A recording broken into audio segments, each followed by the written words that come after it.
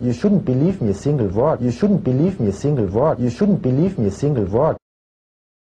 There's no way out.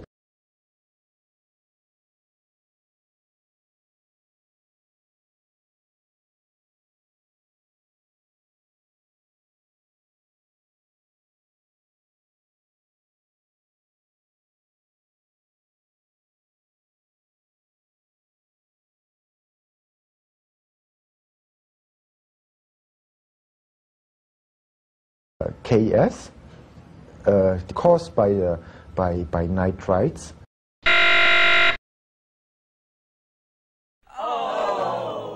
AIDS started partly when they said that it's possible to, uh, to measure the, the, the, strength of the immune system um, analyzing or counting T4 cells, the so to say uh, helper cells.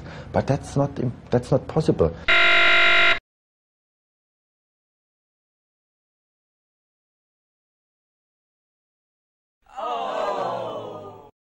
The idea of retroviruses in cancer is long over.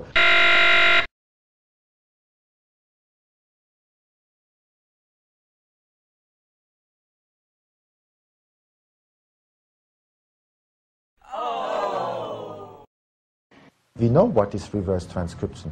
That's the repair of uh, mechanism of the ends of the chromosomes.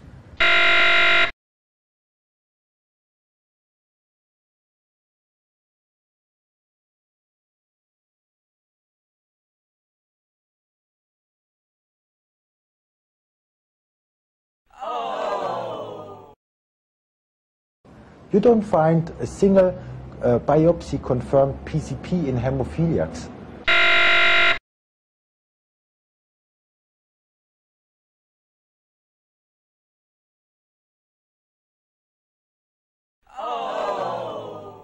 Because it's Septrim, it's pure chemotherapy, it acts on a genetic level.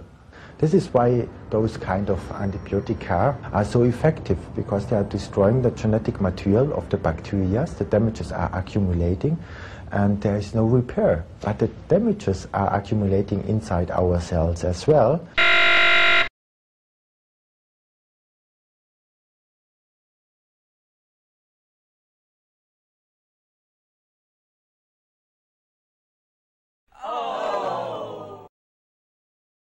KML is a PCR technique, which is a multiplication technique, not a quantification technique, by the way.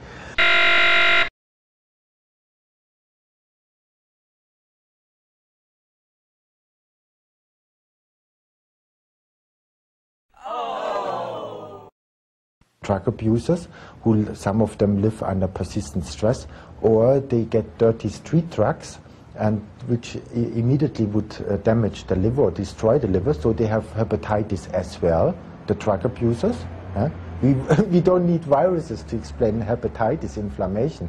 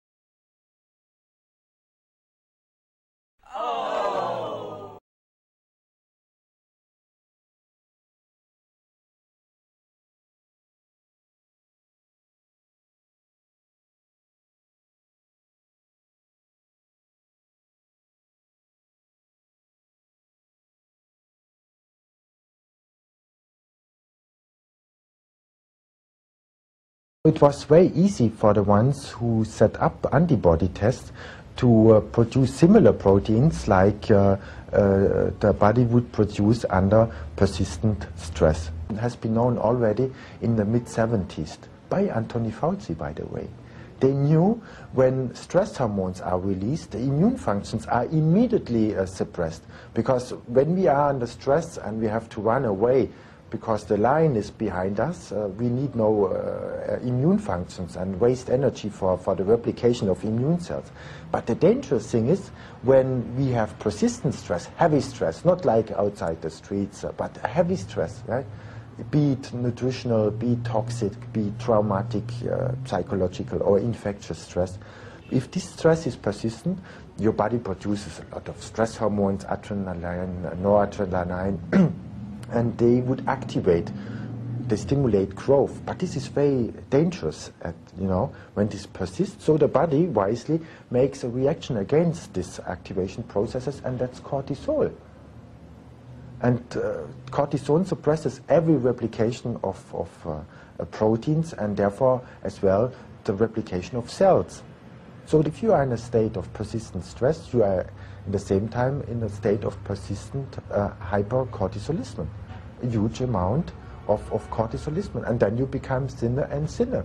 And your regeneration won't work, and you become more and more positive, means more and more antibodies.